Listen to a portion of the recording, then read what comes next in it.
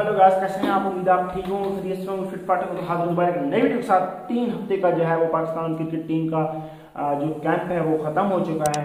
और अब पाकिस्तान का जो अगला मिशन शुरू होने वाला है, वो है सतारह अप्रैल से T twenty I series New Zealand के खिलाफ। पाकिस्तान का जो स्क्वाड है, उसकी अनाउंसमेंट हो चुकी है, जैसा कि आप सबको पता है। और आज हम जो है वो थोड़ी बहुत बात करने वाले हैं कि पाकिस्तान की प्लेइंग एलेवन जो है वो कौन सी रहने वाली है। पहले टी ट्वेंटी मैचेस में न्यूजीलैंड के खिलाफ। तो नए खिलाड़ियों को जो है पूरा पूरा मौका सुनने में आ रहा है कि दिया जाएगा। आ, कुछ मैचेस में जो है वो ताकि आगे वर्ल्ड कप का जो कम्बिनेशन आ रहा है वो हमने कम्बिनेशन बनाना है और वर्ल्ड कप पाकिस्तान के लिए काफ़ी अहम है। तो उसके बाद क्योंकि ये दो तीन सीरीज़ दो सीरीज़ जो है वो तीन सीरीज़ बल्कि जो है वो बन रही हैं और इस इसी में जो है पाकिस्तान ने अपने कॉम्बिनेशन भी बना रहा है। तकरीबन दस मैचेस मेरे ख्याल से बन रहे हैं।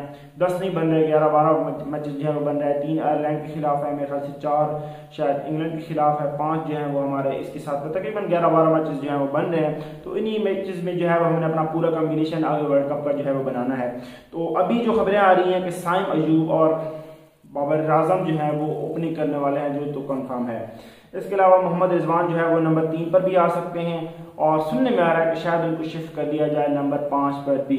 इसके अलावा फ़खर जमान जो है, वो और उस्मान खान के दरमियान जो है, वो अब ये टफ मुकाबला होने वाला है कि फ़खर जमान तीसरे नंबर पर आते हैं या उस्मान खान तीसरे नंबर पर आते हैं।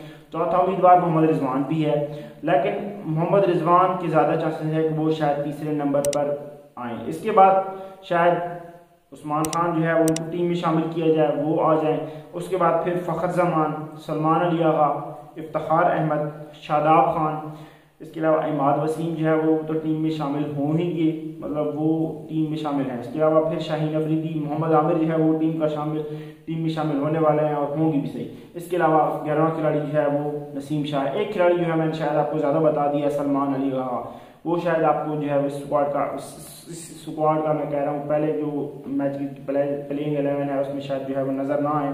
साइम अयूब, मोहम्मद, रिजवान, बाबर आज़म ये तीन हो गए, फ़खर जमान हो गया इफ्तार अहमद हो गया, उस्मान खान हो गए, इमाद वसीम हो गया शादाब खान हो गए।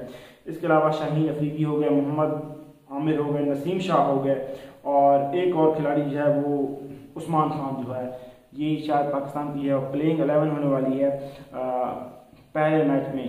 और इसके अलावा एक और ख़बर जो है वो निकल के आ रही है कि शायद जो है वो, शायद क्या कंफर्म है कि न्यूजीलैंड के दो खिलाड़ी जो हैं वो इस सीरीज़ से जो है बाहर हो गए हैं और बहुत बड़ा जो है वो एक झटका माना जा रहा है। क्योंकि फिन एलन और एडम मिलाइन फिन आइलैंड आप जानते हो कितने ज़बरदस्त बैट्समैन है और एडम मिलान जो है वो कितने ज़बरदस्त बाल हैं। दोनों को जो है वो इंजरियाँ हुई हैं। इस वजह से जो है वो न्यूजीलैंड के खिलाफ पाकिस्तान की जो सीरीज़ है, उसमें से जो है वो बाहर हो चुके हैं।